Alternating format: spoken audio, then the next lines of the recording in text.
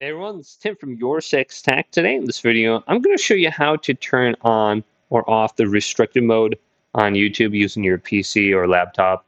And this will make it pretty much where it just filters out mature content. It's more like for kids.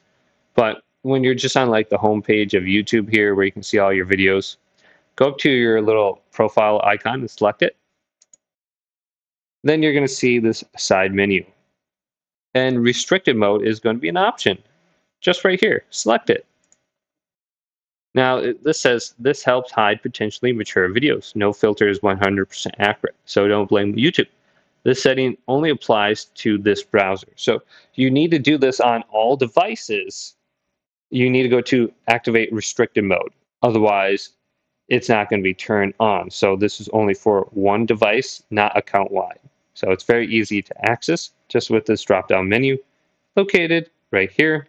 But hopefully this video did indeed help you out. If did, leave it a big thumbs up and subscribe my channel down below for more tech videos coming up next on Your Six Tech.